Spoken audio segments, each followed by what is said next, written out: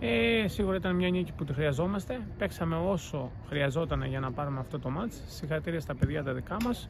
Όσο για την πρώτη θέση είναι η αλήθεια ότι είναι η πρώτη φορά που πατάμε στην πρώτη θέση του βαθμολογικού πίνακα. Εύχομαι μέχρι το τέλος να είμαστε εκεί. Σίγουρα θα είναι δύσκολο. Έχουμε απαιτητικό πρόγραμμα και να εισάξει αντίπαλο με εμάς.